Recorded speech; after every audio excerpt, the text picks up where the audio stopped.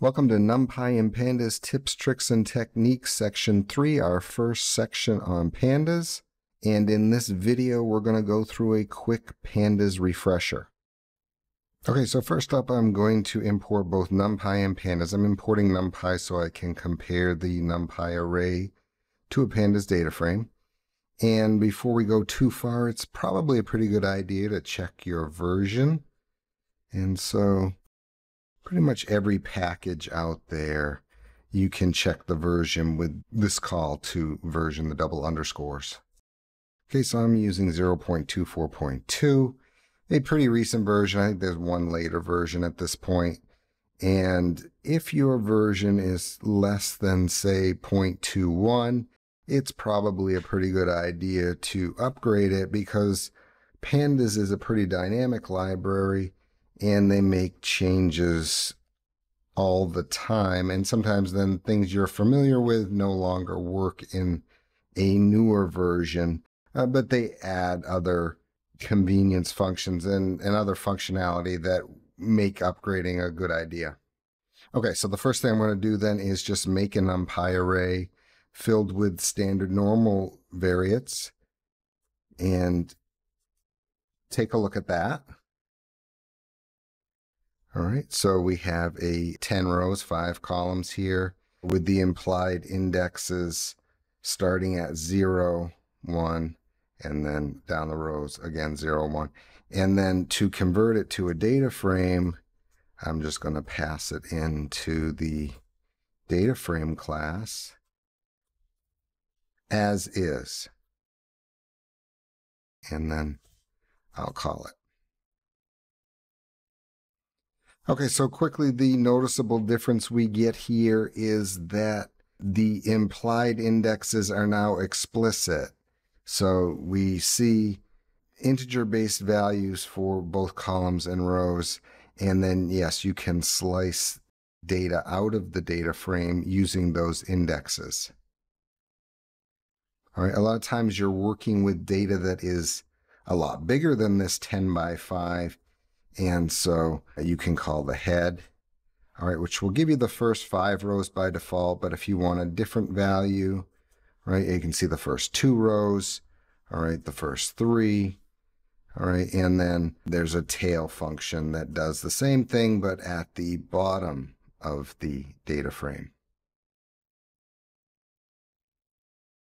Okay, if you want to change column names, this happens quite a bit. You download data from someplace and the column names don't make any sense to you.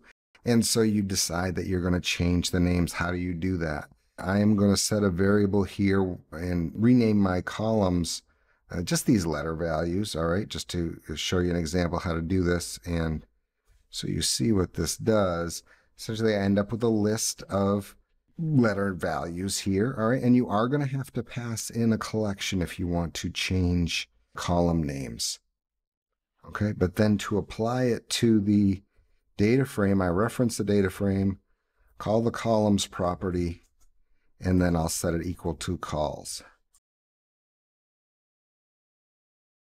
Okay, and just like that, we have a data frame with the columns renamed. All right. And if you're observant, you'll notice here that when I call a data frame, I'm not getting the whole thing. I'm getting the first three rows and the bottom three rows. And you can actually manage how many rows of data get shown to you using the pandas options. All right, and then display, and then max rows. All right, and you can set any integer value here that you want. All right, it's generally a good idea to do an even. All right, so four rows, six rows, whatever you like. All right, so this one, I'll set it at six. And then you essentially, when you call a variable, you limit how much data gets shown on the screen and uh, you see both the head and the tail. So that's kind of a nice side effect of using the display max rows option. All right. And then a lot of times we need to understand more about the data without visualizing all the data or without seeing it in table form in front of us. We can get information about the data frame conveniently with the info method. And what this does is it shows us each of the columns with their column names. It tells us what kind of data is there and it tells us how many observations are there. So if you're missing data, some of these values will not be 10. All right. And if you have text values in your data frame, probably you're going to see the data type as object here.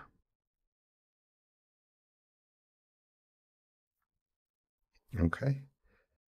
Okay, if you're interested in changing the index, we saw how to change the column index. If you're interested in changing the row indexes, I'll set up a variable for that. And I'm going to use a built-in data type in pandas. All right, it's the date range. All right, the date range is going to require us to tell it where we're starting. And then it's to tell it how many periods to go out from there. So I'll go out 10. So I match the size of my the data frame that I'm working with here. And just so we can see what the data looks like, there it is. All right, and then to change the current integer base index to this index, I'm going to call the data frame and set index as index so I don't get a copy of the data frame. I want it to happen to this data frame. I'm going to set in place equals true. All right, and again, we'll take a look at that. There it is.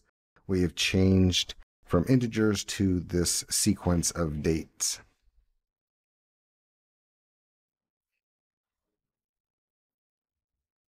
Okay, the other probably very common thing you want to do is just look at specific subsets of data. We can either look at columns or rows.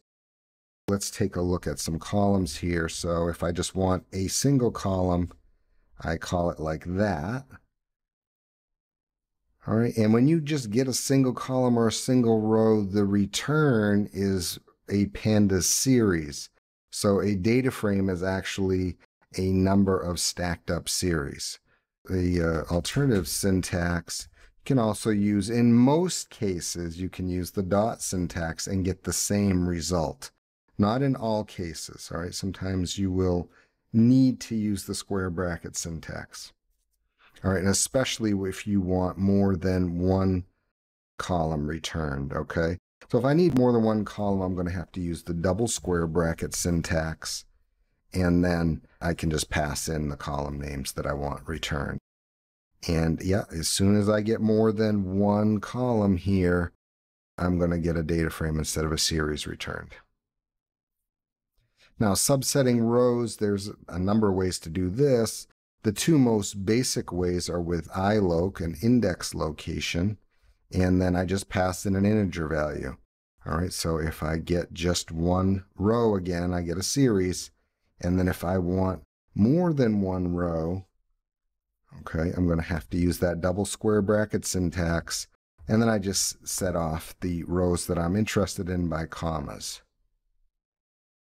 Okay, if you're interested in a single value out of this data frame, then I can use syntax that's similar to NumPy slicing here. Okay, and I get a single value that lives in the first row, the fourth value there. Okay, and then, yeah, I can use the colon to get first row and the fourth value on. Okay, the other common way we use is with the loc method. Again, we use square brackets. And this is going to be, instead of integer based, it's going to be value based. So if I have the first day in January 2019, I reference it that way. All right. And then with most values, as long as it's not a date, you can use that double square bracket syntax like I did with the iloc method. But for some reason, you can't do that with dates. All right. So if you need dates, you need to get a continuous range like this.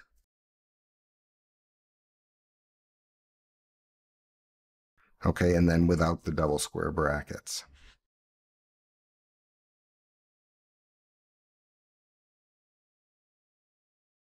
Okay, but what you can't do is just set off different dates with commas. That will also throw an error. Okay, a lot of times we want to do something to our data based on a value there. So if I want to just find all the values that are, say, less than zero,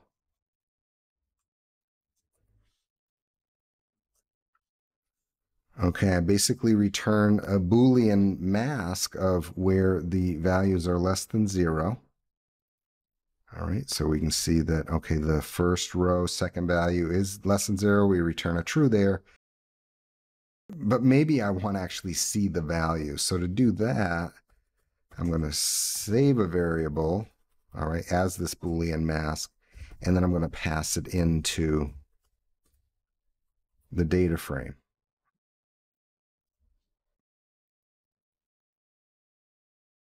All right, and so now what we see is, okay, just the negative values. So wherever we have a false, we're not seeing a value show up. All right, so if we want to change the values based on something like, oh, if we want to say change all the negative values to zero, all right, I can do some math on them like that. And then when I call the data frame, I'll get something quite a bit different. All right, so I just see positive values now, and any place that was negative, we sort of set a floor there and said, okay, if it's negative, then we'll just call it zero. All right, data frame is pretty flexible. You can create data frames from lots of other structures. I'm going to go ahead and start making one using the data frame constructor here. And uh, I'm going to construct one from a dictionary. That's pretty common. And, and all I do is call data frame, and then I essentially pass in a dictionary. And I can pass in any collection I want. I can pass in a single string if I just have a data frame with one row, but then basically I have a series. All right, so let's put two columns in this. And all right, we're going to base it on the range method that comes built into Python. Okay, so there we go. Just like that, we have a new data frame. If I want to save it, I'm going to have to save it into a variable.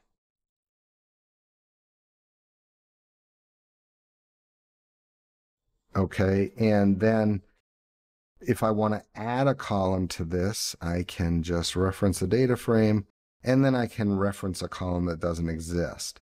All right, so if I just call this now, I'm going to get an error because, okay, C column doesn't exist, so I get key error. But if I set it equal to something, I can set it equal to even another column in the data frame, and oh, okay, I can do some math on that first. Okay, and then when I call it,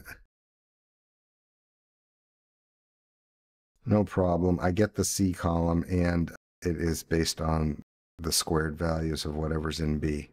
Okay, the last thing I want to talk about in this refresher is getting descriptive statistics. All right, so all of the activities I've been talking about in this notebook are things that, okay, we'll use for background going forward. And much of what we do when dealing with data is getting an idea of what data is there without actually being able to see it. We summarize it somehow, all right? So that's what we're going to do with these descriptive statistics.